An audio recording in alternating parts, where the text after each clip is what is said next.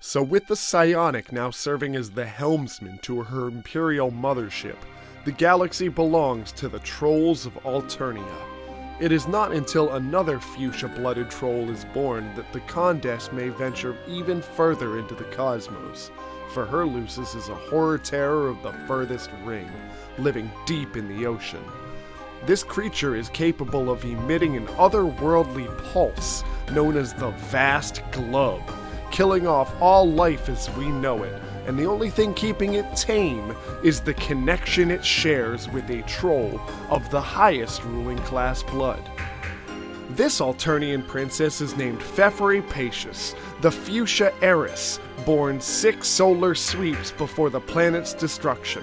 She works with a descendant of the Orphaner named Eridan Ampora, and together they hunt other lusii to feed the horror terror of a lusus that adopted her. While only a couple of sweeps old, a mid-blood troll named Kanaya Maryam, descendant of the Dolorosa, is visited by the First Guardian.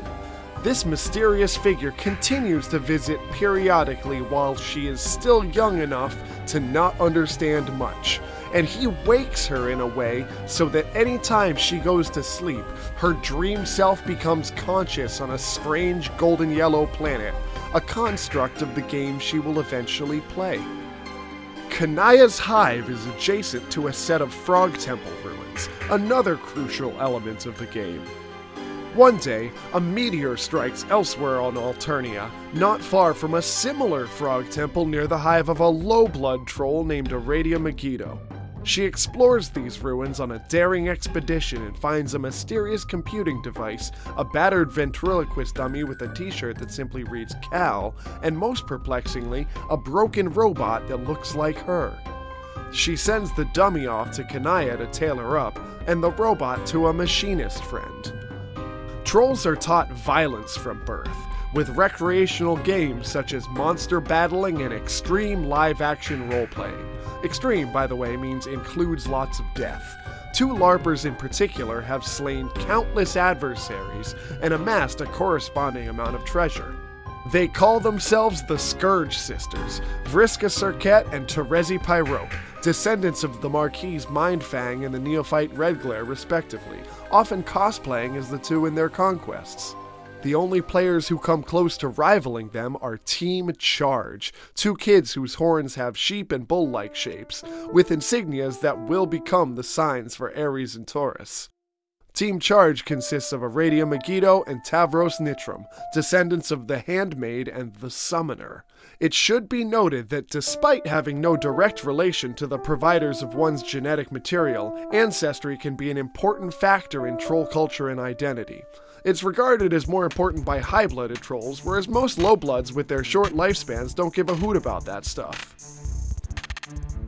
And as strong as Aradia and Tavros are with their telekinetic ability and animal communion, they are no match for Vriska and her mind control, who forces Tavros to jump off a cliff and become paralyzed. In retaliation, Aradia incites the ghost of those who fell victim to the Scourge Sisters to haunt Vriska endlessly. To put a stop to this, Vriska uses her mind control on Aradia's boyfriend, Sollux Captor. Sollux is another low blood, a descendant of the Psionic, with very similar telekinetic powers, and Vriska forces him to use his flashy eye blast to kill Aradia and destroy her hive. Up until this point, Team Scourge's success has been due in part to Vriska's possession of the same magic cue ball her ancestor once used. Terezi, believing she has gone too far with the killing of Aradia, contacts the First Guardian and informs him of the cue ball's whereabouts. Enraged, he detonates the cue ball as Vriska is peering into it, blowing out her special eye and taking off her arm entirely, matching the injuries given to Mindfang by Redglare so long ago. As an ultimate act of retaliation, Vriska uses her mind control powers to influence Tavros to use his animal communion powers on Terezi's unborn dragon lusus to influence Terezi to sleepwalk outside during the daytime. Terezi wakes up staring directly into the blistering Alternian sun and immediately goes blind. And in line with legends of old, Vriska commissions her friend Equius Zahhak, the descendant of the Executor, to craft her a robotic arm. Equius is a brown nosing, sadomasochistic, tough guy machinist, and I use the term friend rather loosely here because friendship is often regarded as a sort of troll disease.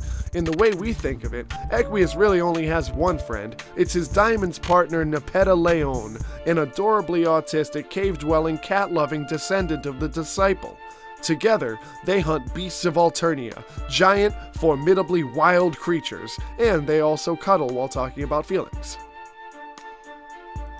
Despite his casteist views, Equius couldn't help but develop a crush on Aradia in the time she was alive, enamored by her etiquette and basically turned on by the taboo of mingling with the low blood. He had been the one working on the robot resembling her, and with her now dead, it is intended to serve as a host to her spirit. Eventually, Sollux discovers the game with his elite hacking skills. It is named Sgrub, the narrator notes that if it were developed by a legitimate gaming company, it would have a cooler name, but we're not there yet. If you're wondering why these people from all different castes would be friends in the first place, well, that's just the magic of the internet, y'all. These kids chat with each other through an instant messaging client called Trollian and use the color of their blood to flavor their text. The only exception is their friend Karkat Vantas, the first to enter the game, who has candy red mutant blood, the same as his ancestor, the Signless.